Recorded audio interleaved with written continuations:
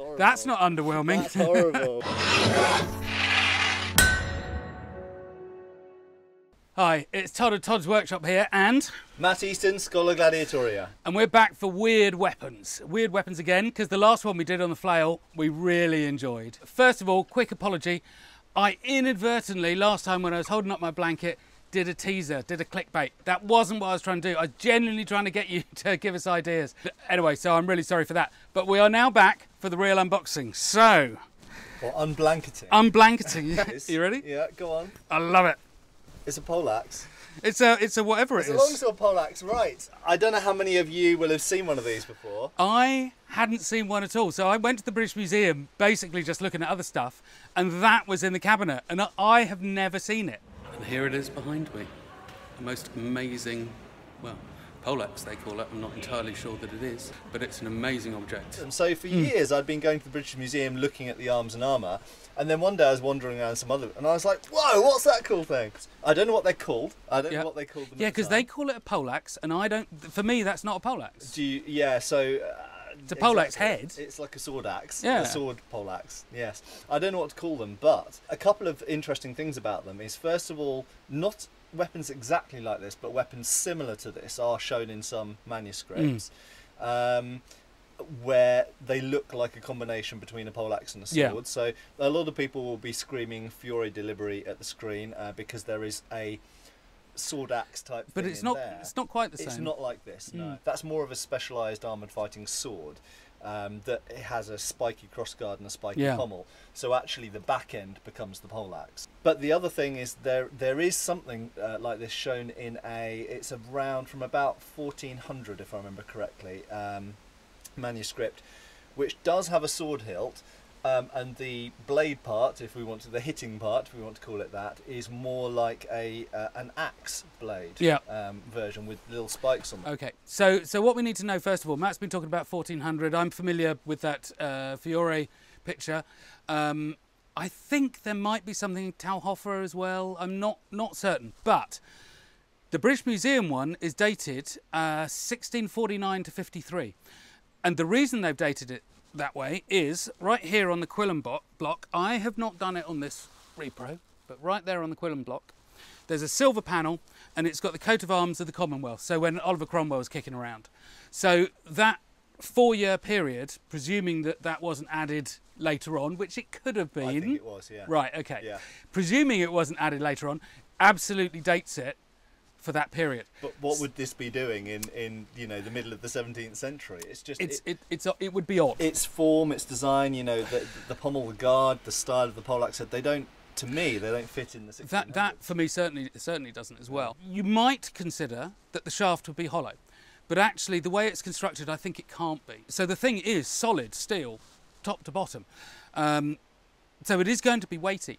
But the other thing, of course, is I didn't have access. Full disclosure again, I didn't have access to the object out of the cabinet. Mm-hmm. So I spent a very freaky half an hour measuring it from outside the cabinet. It's quite close to the glass, but measuring it all the different proportions that I could, and then getting photos and scaling and so on.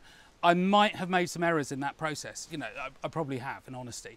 So it might be a bit heavier, might be a bit lighter, might be bang on. So on the on the surface of it, my my suspicion is that, especially if there's another one of these, Mm. that during the um, during Cromwell's kind of looting of various places, that this and the other one, if the other one does indeed exist, um, somewhere in the Tower of London, um, were taken by Cromwell, and one of them had the Commonwealth.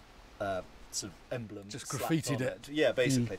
I think that they date to about um, end of the end of the 1400s, early 1500s. All right, Uh, cool. They've got to be specialised armoured fighting things, I would think. We'll set up a sandbag with a bit of plate on it and a bit of cushioning, Yeah. uh, and then fun. and then leg a lamb or something for that side, and we'll just have a look, uh, see what kind of mess it makes. What we've got here is a, a hook. You might say, well, that's for suspension, but actually, point of gravity, it's, you know, it's not. So I don't think it is for suspension, which is why I have this.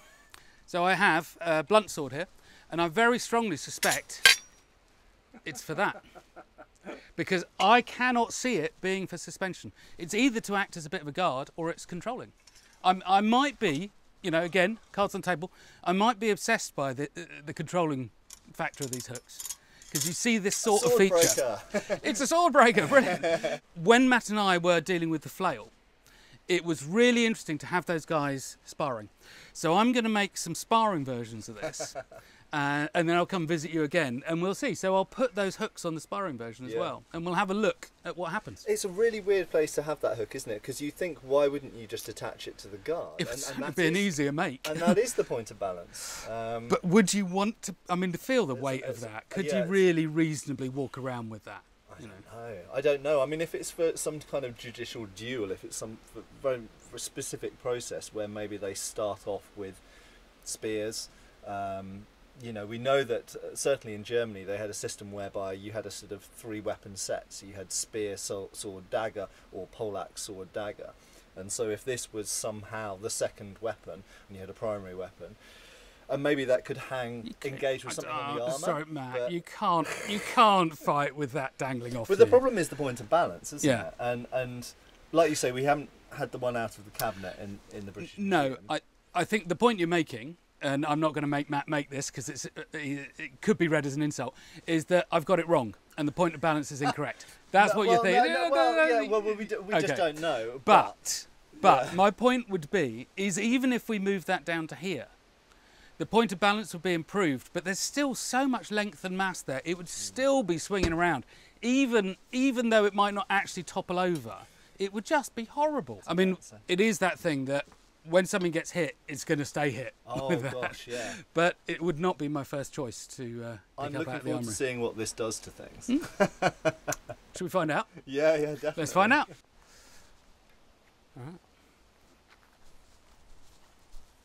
I mean, it's heavy. It, it was. We just weighed it, three and a half kilos, so seven and a half pounds. Yeah. So it's How similar, did it feel? It's similar to a full-size poleaxe, um, or a large two-handed sword. Um, so it's like one of those kind of pole arm length things, but in a smaller, heavier Yeah. package. And it's a little bit like a light sledgehammer. Well, seven pounds. It's like a Yeah. sledgehammer. it is actually like a sledgehammer. Yeah, but the balance completely different Yeah, because, of course, yeah. the weight weight on a sledgehammer is up at the head, but whereas this is is the whole thing. But I can't really conceive how that matters in terms of power delivery because in the head, obviously, you have all of the momentum in the head, and here you have actually relatively probably 10, 15 percent, 10 percent of the weight of this is the head, Yeah. and the rest well- is the whole object. Absolutely, and the fact you've got a big, solid pommel there and a cross, a not insubstantial Mm. crossguard in the middle, suggests to me that this is intended to be turned around. Yeah. You know, the other thing to say about it is it's basically indestructible, isn't it? There is no wooden shaft here. There's It's, it is genuinely. I wouldn't actually say that. No. And the reason is there is an account somewhere where they talk about the head being hardened. Okay. The problem with medieval steels and through hardening is something like that. It's really quite difficult actually on the whole. So you might be able to get a bit of hardness in the spikes.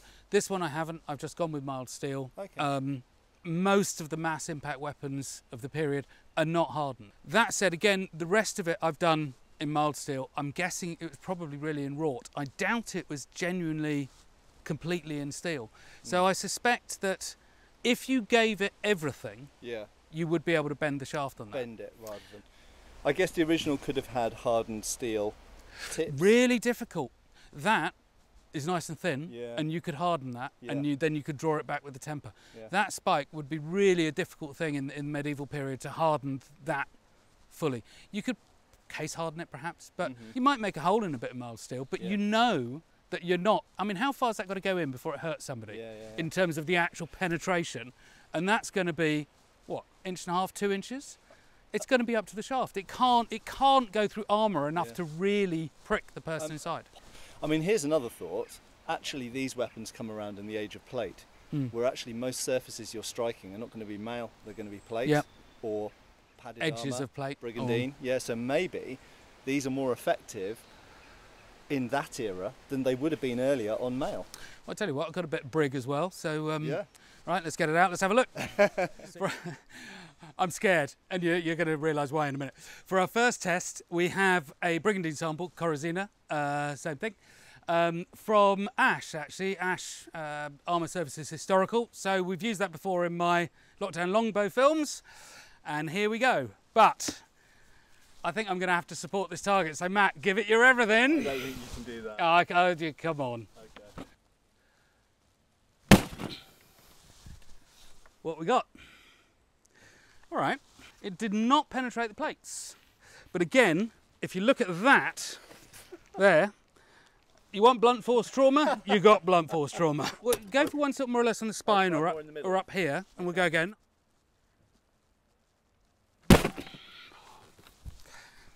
I can tell you, if you were in that, I don't care if it went through or not. If you were in that, you are in big trouble. I mean, again, that's it's broken your back. It's you're out of the battle. But you know what I was saying Yeah. about bending the shaft? Yeah. Oh my god. oh my god. You really are a man. I didn't expect that. Well, I mean, that's that is that is so we know that is the thinnest point is a 15 millimeter steel bar. It shows I'm hitting it fairly hard then. Well, you're not pretending, yeah. so what I say is we go straighten it, and then Yeah. we go for that side on here, Yeah, okay. and we'll have a look. Yeah. Just look at that. So, Matt, this is this is the one that you just struck it there, where you actually bent the hammer, and I mean, Yeah. look at that. Yeah, I mean that's a I mean that's a huge amount of focused force going to that steel Yeah. sheet there and you can see it's getting close to Mm. sort of stretching around there, isn't it? You can Yeah. see exactly where the points hit. And that was the earlier one which wasn't quite as uh, quite as hard. And in fact Mm. this this plate was more bent to begin with and I think the second hit kind of straightened that top one out. Right, I think we should be all right for me to stand here because I really want to see this. So go for the coronel, Matt.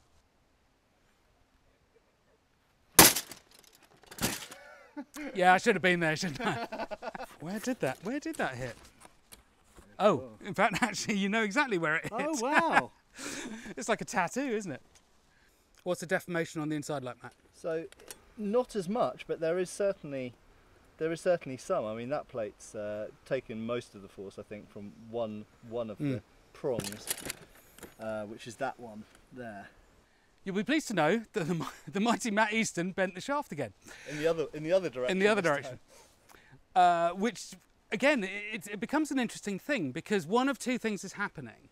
Is either, in reality, you know, back 600 years ago, the shafts could bend. That's one thing. And it doesn't, it's not necessarily not true because actually it's still a viable weapon and so on, and you just straighten after the battle. The other one is that they were making them out of steel shafts, um, and that could be the case. So, in that sense, you know, we've learned a little bit of something there. Uh, Or maybe for every heavy hit with one direction, you make sure you give a heavy hit with the other direction. of course. I was I was just saying to Tod off camera. I think that I always thought of these steel shafted weapons as the kind of heavier but um, indestructible versions of the wooden shafted cousins of them. But actually, a wooden shaft's not going to bend. Is no, it? it'll spring back. It's much more resilient in Yeah. that sense. And I know that some metal shafted uh, maces were hollow Mm. with wood inside. Yeah. Uh, so they're a tube essentially with, with a wooden Yeah. shaft up the centre. Um, with this one though, it's too thin to, for that to be the case. I think, isn't It, it? it's too thin. The hollow shaft also tapers, so you'd actually need two wooden plugs, which would leave you a really Ah, weak right. bit in the middle. The other thing is because of the way it's constructed, you can see on the original there's a bit of leather that's broken away there, Okay. so you can see it's a slab tang coming through, oh right. and then you have the spike at the top here. okay. I've actually ended up brazing it, Yeah. um, brazing and riveting, Mhm. but they just riveted through here. Mhm. And so again, um, unless they welded in, which they could have done, welded in a stub here, and actually and welded in a stub there, they could have done it. Yeah. But you would have. It's a it's it's a technically quite a challenging thing to save actually very little of the mass if you were going to do it. Yeah. So I am I'm sure it's solid all the way. I I'm really curious what that Oh, okay. might do with a half swording type stab Right. to that armour. Well, I think I'm going to hold it again this time. Right, go for it. Okay. Yeah. Ah, okay. All right. It's gone through. So it has gone through. It's the only one which has gone through. but, huge story. So it's gone through six millimeters. It is that thing that it's just not going to, well, barely draw blood. Probably Can wouldn't draw again? blood. Yeah, go again. Oh. You are hitting that, So, Matt. so that one actually hit a hit a nail. All right, well, let's go again. There we go. But again, Yeah. It's even through your undergarments. It's not going to even draw blood. I think. In Fiore de Liberi's treatise, he talks about the point of a poleaxe and he says, with a good thrust, this might go through a corazina. Well, technically, that has gone through It a has. corazina. so it may not incapacitate someone or even badly wound them. What really surprises me is that that half sword thrust is able to go through when on paper you'd think the accelerated leverage of a swing would have more effect. I'm going to take a stab in the dark. uh, Sorry, that's a really bad joke, not intended. I'm going to take a stab in the dark, Matt. And when you're swinging, actually, what, what you've got is all of that area Yeah. of momentum is not working for you. It's working subtracting from that because you're pivoting around that point, or a lot of it anyway. Okay. Not necessarily around that point. But you have the mass here, which is coming through, but a lot of this mass is not behind it. Yeah. When you're half swording, Yeah. everything you've got And my body. is behind it. Yeah. And I think that's what the difference is. Yeah. Or maybe my. I mean. Which I is interesting, actually. I hadn't considered that. I, yeah. And we should also say this is just me swinging this thing. I'm sure there are bigger, stronger people who can swing this with more force than me. But that being said, the fact that I bent the shaft in both well, every time I swung it, basically, Hmm. suggests that I'm hitting it fairly hard. well, if you keep doing that, it'll harden up quite soon. Let's get our leg of lamb out cool. and see what a mess we can make of that. yeah. So we're back with the leg of lamb now, and I think Coronel strikes sort of at a bit of an angle to see what would happen to your arm or your what leg, does really. a coronel do to flesh? I don't honestly know.